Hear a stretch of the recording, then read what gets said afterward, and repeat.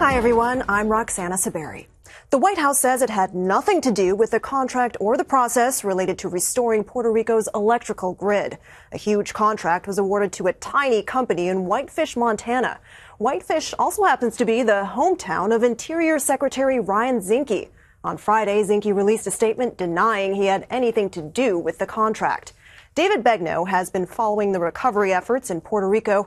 He went to Montana to find out more. Nestled down this long driveway in Whitefish, Montana is a one story wooden house which is the home of Whitefish Energy. The tiny energy company with only two full time employees surprised many. There's mail for Andy Techmanski. When it received a $300 million no bid contract to help rebuild Puerto Rico's electrical grid, Whitefish has never worked on a project of this size. I mean, we're kind of in the middle of nowhere. It's beautiful out here, but certainly doesn't look like a headquarters for an energy company.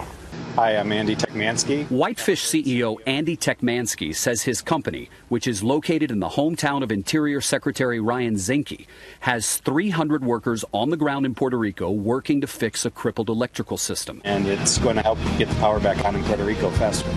A month after Hurricane Maria devastated Puerto Rico, 75% of that island is still without power. The controversy over the no bid contract set off a Twitter feud between the mayor of San Juan, Carmen Yulín Cruz, and the company. Cruz believes the deal with Whitefish Energy should be voided. She described the company as, quote, inadequate and asked for transparency. Whitefish hit back, threatening to leave writing, quote, We've got 44 linemen rebuilding power lines in your city, and 40 more men just arrived. Do you want us to send them back or keep working? The company later apologized. Whitefish has put out a statement saying that they will cooperate with any request that comes from Congress, FEMA, or any other government organization that wants to know more about their contract. And they're asking people to hold off instead of having what they call misinformed conclusions. They also said they're proud of the work they're doing in Puerto Rico. Roxana. David, can you explain a little more about what happened? Someone tried to block your car as you were leaving? Well, so that was interesting. We, the residence where we were is probably, I'd say, 200 yards from here as the crow flies. And as we were leaving, the UPS man was right behind us. We were coming down this road, and there was a man who literally pulled up in front of us and blocked us. Uh, we got out, had a conversation with the man, and he said, I have the sheriff's department coming to talk to you. So we stayed here on the road, and the sheriff's deputy showed up, and come to find out, he gave the man a bit of a lecture, telling telling him you can't just block folks like like this on the road. But the bottom line is, it appears that he is in some way connected to the CEO who lives at that house, and uh, it appears to be a family member. And he was worried. There apparently were kids and some other relatives inside the house. They did not open the door, and as we went up to the residence, we knocked. We asked the UPS man if we were in the right place. He said yes. When no one came to the door, we left. But it was a bit of a bizarre encounter as we tried to get out of here. Yeah, and that residence being the place that you said didn't look like a headquarters for an energy company, right?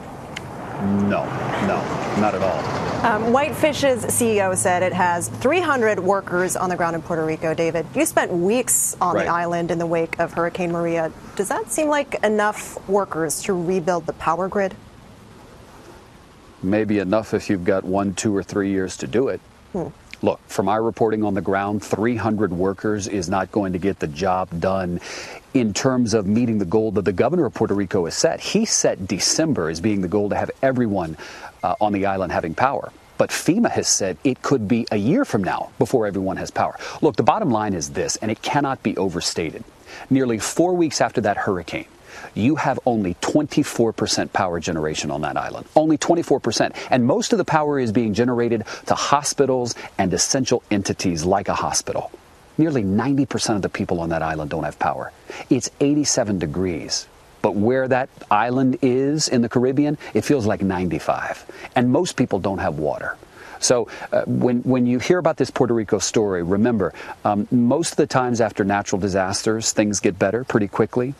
It's the same as it was the day after the hurricane. Mm. It's the same for people today. I talked to a man yesterday who put a tent in his yard and he's got his wife, newborn baby, and another child sleeping in that tent because they have no power inside. The bugs were inside and it was just brutal.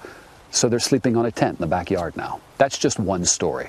But back to your question about the power 300 people, it's not going to get the job done. Not going to get the job done in a timely manner. And the people of Puerto Rico are still saying, why can't you get this done faster?